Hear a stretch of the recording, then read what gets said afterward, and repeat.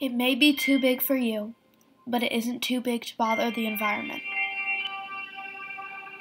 It can start being only a few feet long, but grow up to 23 feet and over 200 pounds.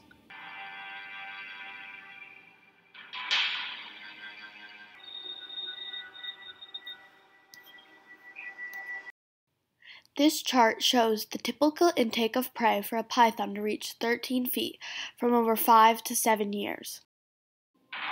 The snake shown is only 14 feet.